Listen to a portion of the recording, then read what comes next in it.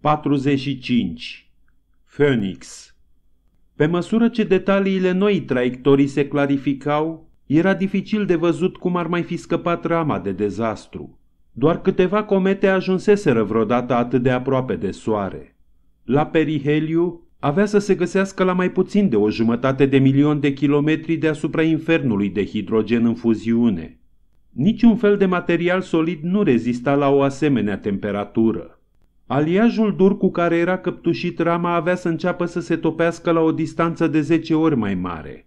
Endeavour depășise deja propriul periheliu spre ușurarea tuturor și se îndepărta constant de soare.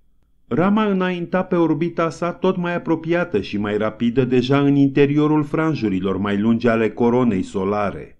Din navă, actul final al dramei putea fi observat în amănunt.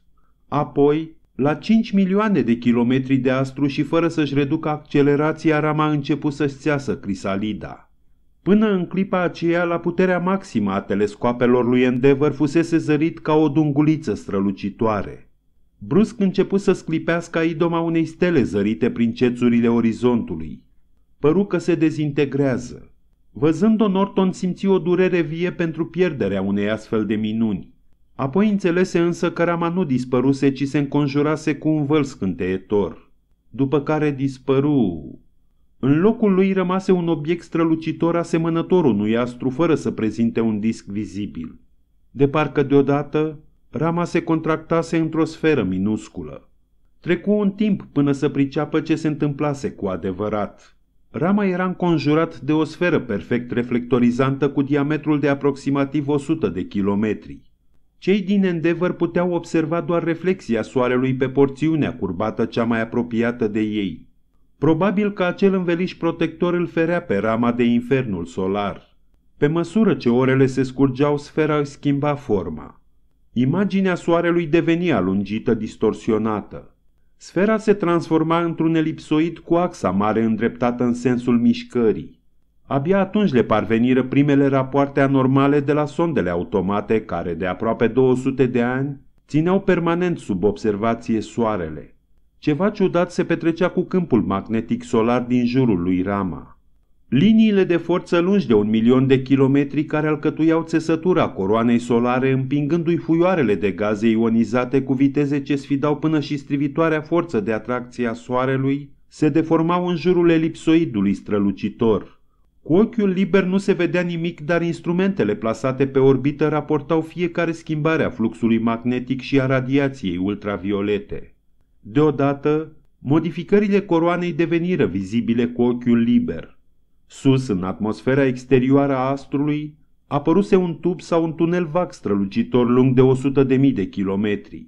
Se curba ușor în lungul orbitei urmate de rama, iar rama însuși sau crisalida protectoare din jurul său se zărea ca o mărgea sclipitoare gonind tot mai vigelios prin tunelul spectral ce traversa coroana.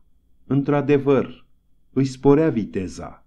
Înainta cu peste 2000 de kilometri pe secundă și nu se mai punea problema să rămână un satelit al Soarelui.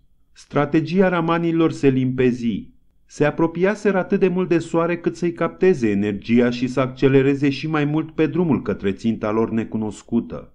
Se părea însă că nu captau doar energie, Nimeni n-ar fi putut confirma presupunerea deoarece instrumentele de observație cele mai apropiate se găseau la 30 de milioane de kilometri departare, dar existau indicii clare ce sugerau că materia trecea din soare în rama însuși, completând parcă scurgerile și pierderile cauzate de 10.000 de secole petrecute în spațiu.